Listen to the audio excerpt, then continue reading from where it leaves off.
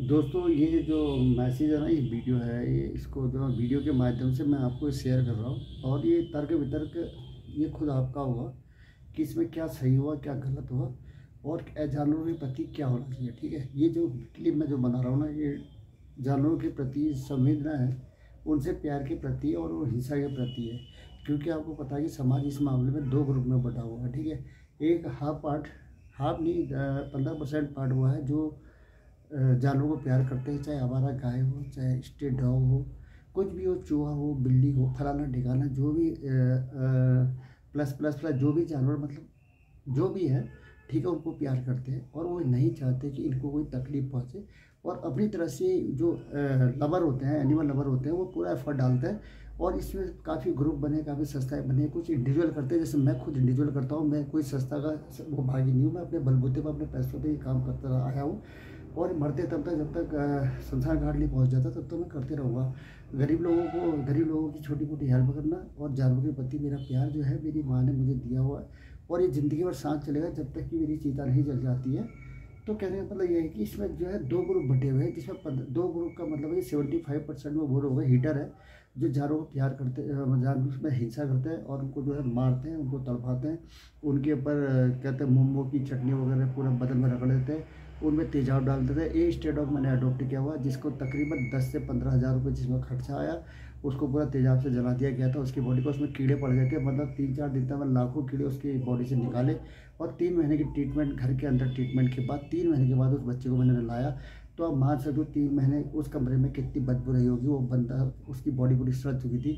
अभी भले ही बाल उड़ चुके हैं उस बच्चे का, लेकिन जो है, उसका नाम, ठीक है, उसको जो हमने, जो है पूरा बाल वहाँ से निकल गया लेकिन मानसिक की जो रिकवरी हो चुकी है और वो बॉडी रिकवर कर चुका है और बच्चा बिल्कुल ठीक है, जिसका नाम हमने रखा हुआ है चार्ली ठीक है? मेल डॉग है, बड़ा डॉग है, बच्चा नहीं लिया है, उसको अडोप्ट हमने बड़े में ही किया है, ठीक है? तो हमारे पास अभी ऑलरेडी तीन डॉग और तीन बिल्लियाँ हैं घर के अंदर। बाकी स्टेट डॉग के अलावा जितने भी अडोप्ट दो स्टेट डॉग मैंने अडोप्ट कर रखे और एक जर्मन सेवर्ट शुरू से वो भी अडोप्ट ही है वो किसी ने दिया था तो बच्चों ने रखा था तो मैंने रखवा लिया था, वो तीन हो गए, तीन छः मेरे पास भी है।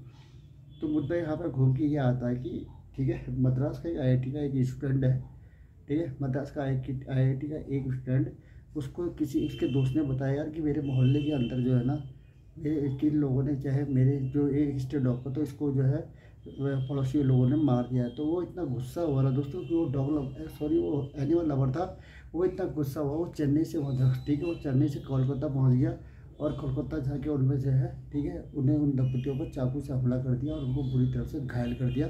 और लास्ट में जो है, वो अरेस्ट हो गया, वो कानूनी फसले में, कानूनी केस हो गया मेरे कहने का मतलब यह है कि मैं आपसे ये जानना चाहता हूँ दोस्तों कि ये बेजुबा है ये अपना दर्द बोलकर कभी नहीं कहते ठीक है, इनको क्या पता यार, रोटी खिलाते पैसे पहले के ज़माने में ये हुआ करता था।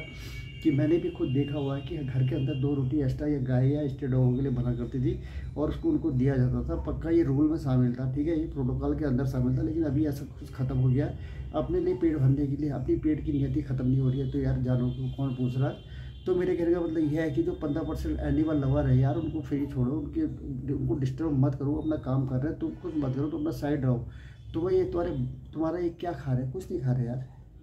ये आ जाते हैं, जरा रोटी मांगने आ जाते हैं, उनको पता थोड़ी होता है, ये हिंसक आदमी है जानवर टाइप का आदमी है, ठीक है, ये मुझे मारेगा या पत्थर टोकेगा स्टोर के आगे आप लोग सब मोमो बर्गर वगैरह दुनिया भर का खा रहे होते हैं डॉग आपको देख रहा होता है, लेकिन आपके दिल में इतनी फीलिंग नहीं होती है कि यार ये डॉग भूखा है। लेकिन एनिमल लवर ये चीज़ पढ़ लेते हैं, दूर से पता चलता है इसकी रिक्वायरमेंट भूख है, ठीक है। दोस्तों, अभी फ़िलहाल मैं चंपावत के लिए बना रहा हूँ।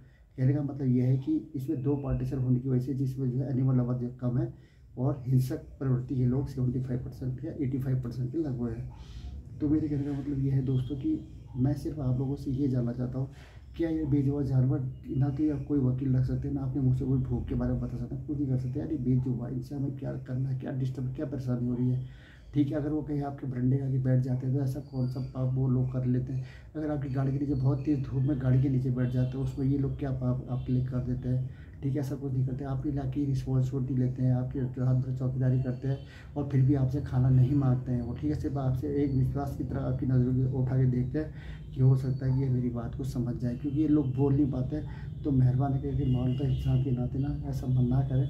और एक चीज़ मैं आपको बता देता हूँ, जो लोग हिंसक टाइप के लोग होते हैं ना, जो नॉन वेज भी खाते हैं, ठीक है, एक चीज़ हमें समय आप लोग कान खोल के सुन लो कि अगर आप मीट मांस खाते हैं, जानवर को काट के खाते हैं, उसकी लाश को अपने पेट के अंदर डालते हैं तो कब, ठीक है, आपके पितर का, पितर जो है ना, ऊपर कभी भी नहीं रहते हैं और आपका चढ़ाया हुआ कोई भी चीज़ पितरों को नहीं लगता, ये हकीकत है। ठीक है तो मान के चलो तो प्लीज़ मेहरबानी करके जितना आप ज़्यादा हम मांस भोगी बनते हो, उतना पितरों को नुकसान होता है। वो आपके ऊपर है कि आप उनको तकलीफ़ देना चाहते हो या नहीं चाहते हो। दोस्तों, इसके लिए अगर आप ये वीडियो आपको पसंद आते हो वीडियो को शेयर करें लाइक करें और आगे और आके शेयर करें दोस्तों, मेरा कहने का मतलब ये है कि मैं पैसे के मामले में अपने बलबूते पर सब कुछ अपने पैसे के बलबूते करता हूँ। मैं किसी से मांगने वाले, वाला कोई भी रोल नहीं है, मेरा कोई एन नहीं, कोई सिस्टम नहीं है। मैं किसी हेल्प अपने बलबूते, अपनी काबिलियत के साथ जो मैंने मदद करनी है मैं करता हूँ। ठीक है, और रही यूट्यूब की बात। अगर यूट्यूब चाहेगा तो मैं उसको पाँच सौ रुपये पर मंथ दे दूँगा मेरे भाई। लेकिन मेहरबानी करके मेरे को यूट्यूब से पैसा का कोई लाना, सिर्फ़ सब्सक्राइबर से मतलब ये होता है लाइक नीचे होता है जिससे मोटिवेशन मिलता है। और वो मैसेज आगे लोगों के ले जाता है। तो हो सकता है एक लाख में दो बंदे ऐसे निकल आए जो एनिमल लवर बनने की ओर प्रयासरत हो। ठीक है दोस्तों? जय हिंद। बंदे मातरम। भारत माता की जय।